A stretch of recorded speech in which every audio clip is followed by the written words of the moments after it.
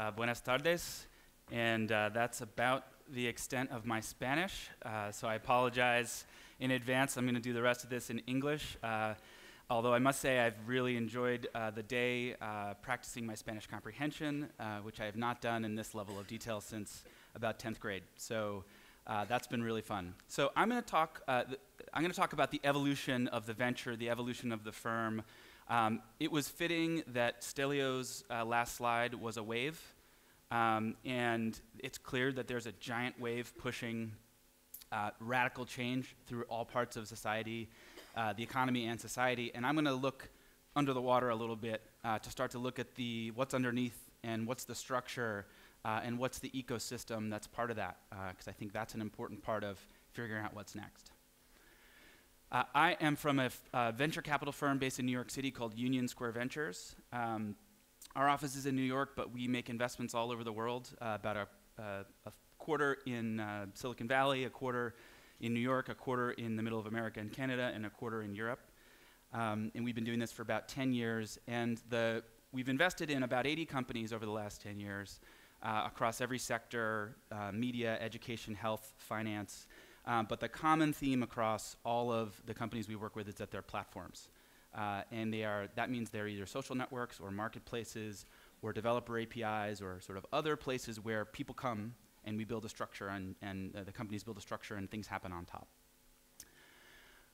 and I want to pick up, I want to start where the rest of the day has, has sort of left off, which is that we've got this uh, kind of wonderful new structure that's uh, re-architecting so many things in the world, which is the network.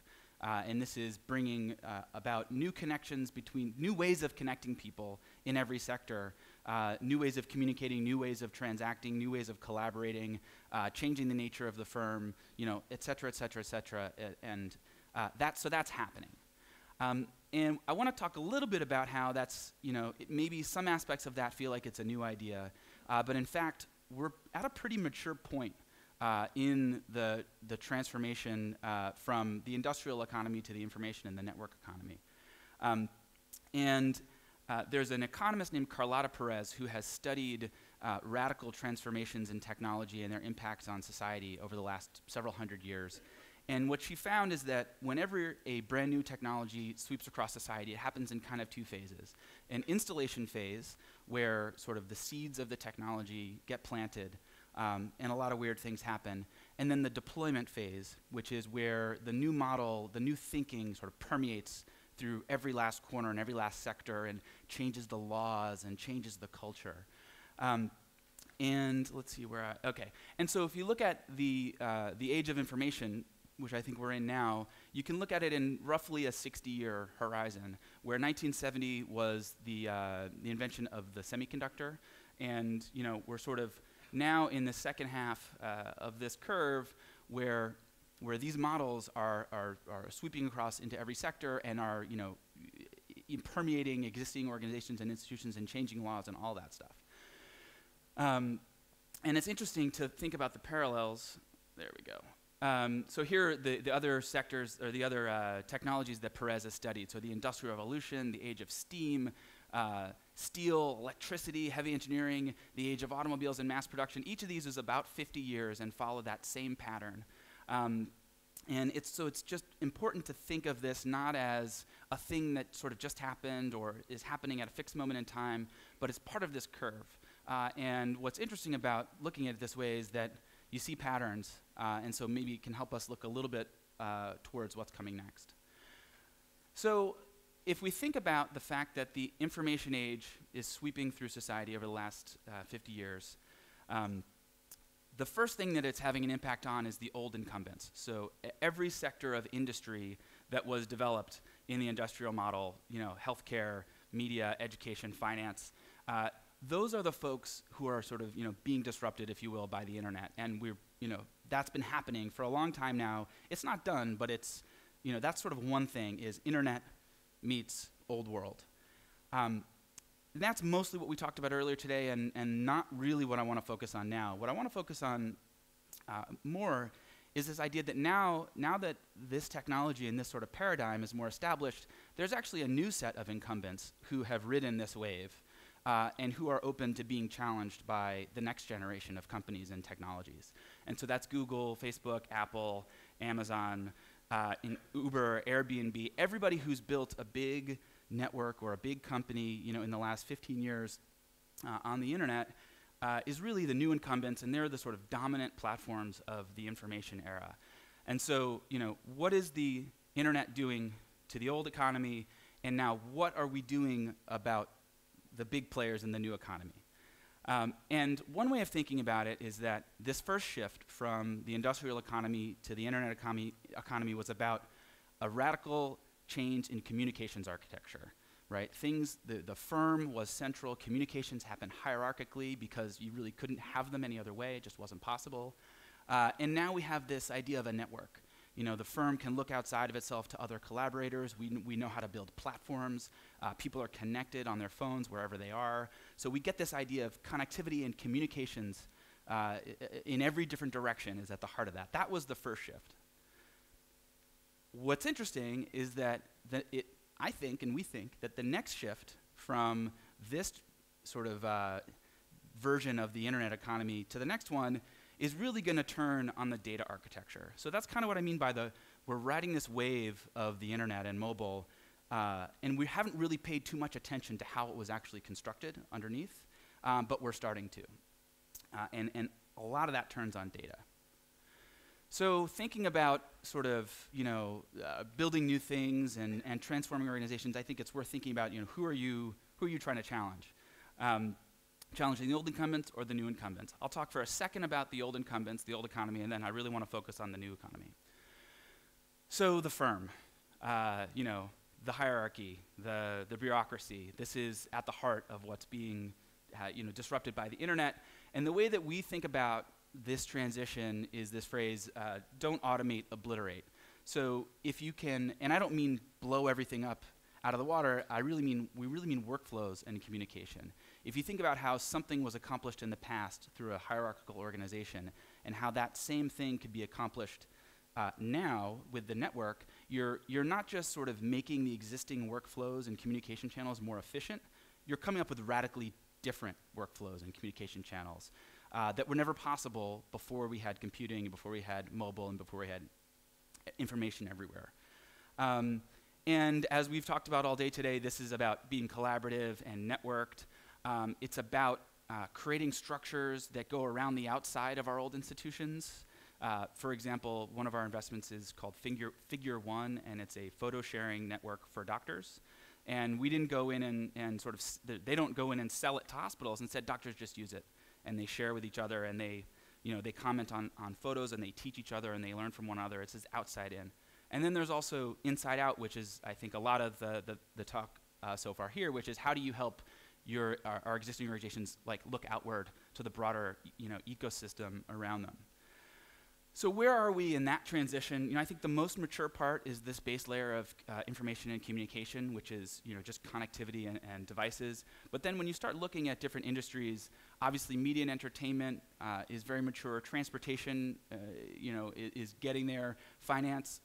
Uh, uh, to a degree with, with crowdfunding and, and new kinds of banking, uh, and down the line, and you notice that some of our industries, in my view in particular, health and energy being the biggest ones, have not been transformed to this first version of the networked economy. So there's still a lot of work to do in deploying the web model and sort of challenging the old incumbents. Um, so now let's look at the new incumbents. This is where I think it kind of gets interesting. Um, and uh, there's this idea of platforms, right? Everybody's building platforms. Everything is a platform. Uh, the line from earlier today, I think it was somebody was quoting Robin Chase saying that everything that could become a platform will become a platform. That's happening. Um, and there's the saying, so data is the new oil. Um, I think there's a lot of truth in that. And as we look at the, the new economy and, and sort of thinking strategically at you know, the structures here, the questions really all boil down to not just is there a platform, but what is the nature of that platform? What are the values that are built into that platform? What are the economics that are built into that platform? What are the rules? What's the governance? Um, and this is not, you know, sort of black and white. Uh, there's a lot, lot, of, lot of stuff going on in there, and a lot of work uh, going on at, at coming up with new ways of building a platform. Um, and it's looking at those connections between people and between the platform and its users and you know, thinking, where's the power, where's the control? So I want to talk about a couple of aspects of this um, with a few examples, uh, and there are more, but, but here are a few to start. So power. Power is a big one. If you control the communication channels and you control the data, uh, you're in the driver's seat. Uh, and so where, you know, where does that matter and where do we think about that? Um, one example that I've been spending a lot of time thinking about recently is workers in the on-demand economy. So these are drivers for Uber and Lyft and uh, people doing deliveries and washing and all of these on-demand services that you can uh, purchase with your phone. Uh, so far, workers have had a direct relationship with those platforms, and the platforms have amassed a fair bit of power. And it turns out that there's a new generation of companies that are emerging to be a buffer between workers and the work platforms. And all they do is advocate on behalf of the workers. And their goal is to turn sort of an independent person uh, on fighting and sort of striving on their own into you know, a union 2.0 or into an empowered workforce. Excuse me. And so you're starting to see as these kind of economies mature, you see where the lines are, you see where the power is, and other services are trying to emerge to, to, to sort of strengthen people's hands. I think that's pretty fascinating. Another one is values and alignment. Uh, there are a lot of values baked into every platform in terms of control, in terms of economics, in terms of the, you know, what you do and what you say and how you act. Um, and there's some innovation happening around that. Uh, a company that we're investors in, Kickstarter, uh, recently reincorporated as what's called a public benefit corporation. and this is a company that has in its charter a dual mission uh, one, uh, to its duty to its shareholders, uh, and two, a duty to its uh, social or societal mission, which they've drafted. And if you, if you go to kickstarter.com slash charter, you can read it. And it basically lays out, it's sort of like a, a you know, a mission statement as a binding contract. So they say, we won't do this and we will do this, and these are our values. And, you know, by the way, later on, when we may be a public company and an activist shareholder sues us because we're not pursuing profit aggressively enough, we can point to this and say, actually, we're duty bound to this mission. You know, and that's balancing out some of the, the power in our platform and, and stating our values and our alignments up front. Another big one is privacy. Um, you know, it's interesting, I think easy to uh, look at all the things that are happening in this industry, in this ecosystem, and think that adding more data and more tracking is the only way to go, and that may or may not be the case.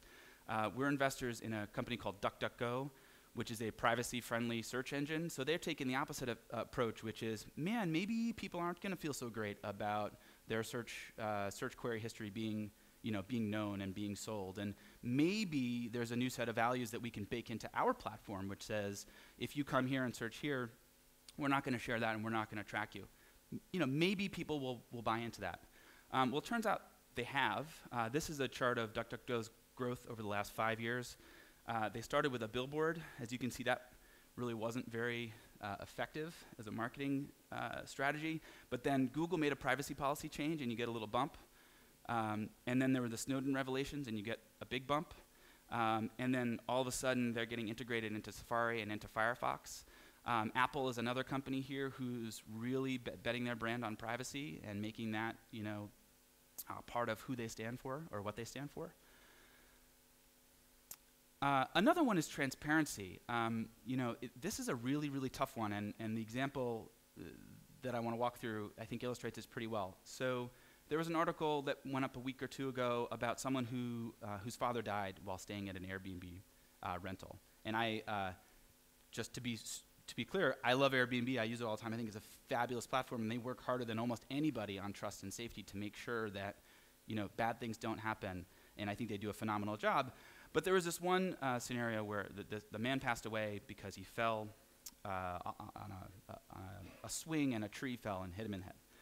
And the article and a lot of the feedback about it is very critical of Airbnb for uh, for not doing a better job of policing for trust and safety. And and what's interesting about this is you you wonder, well, what could they or should they have done?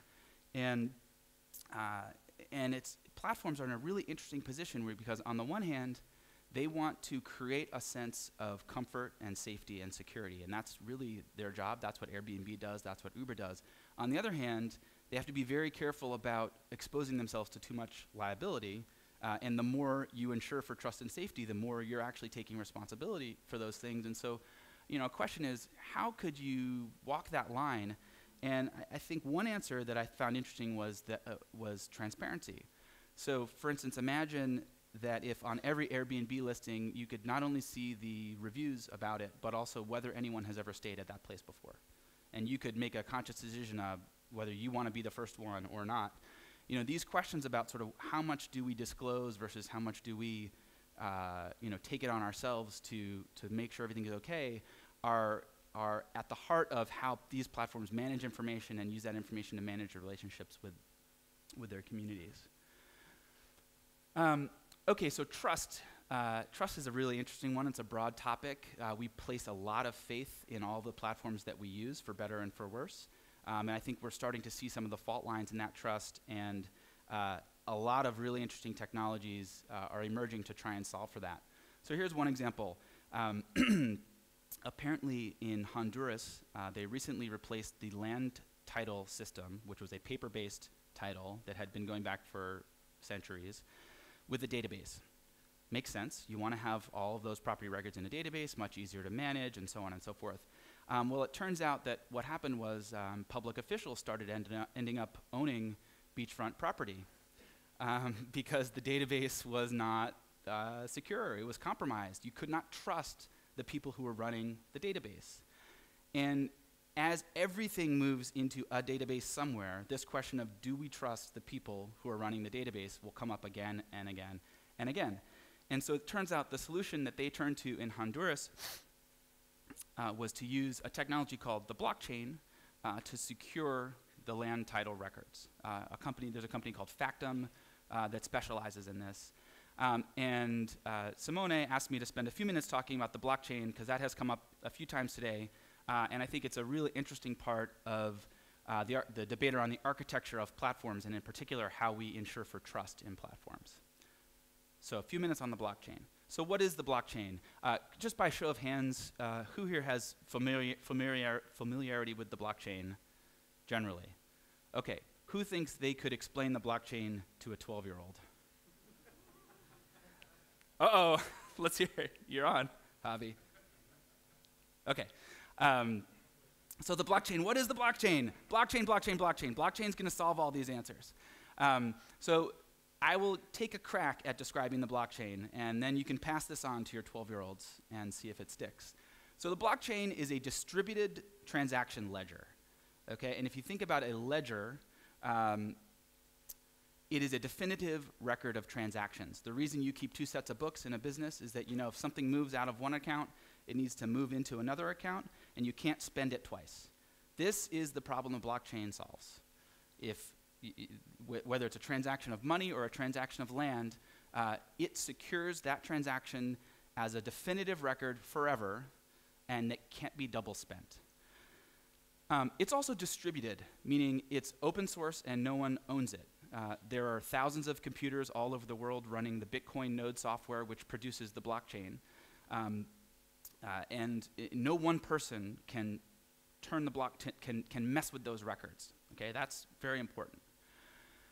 And I want to spend a second talking about the relationship between Bitcoin and the blockchain because there's a lot of confusion here and the two terms are, get bound up together a lot. And the way I like to describe it is that Bitcoin, the currency, is in some sense an, an app on the blockchain. It's a way of, of transacting uh, financial transactions that then are recorded in this distributed ledger. So that's a, it's a financial, it's a currency app on top of the blockchain.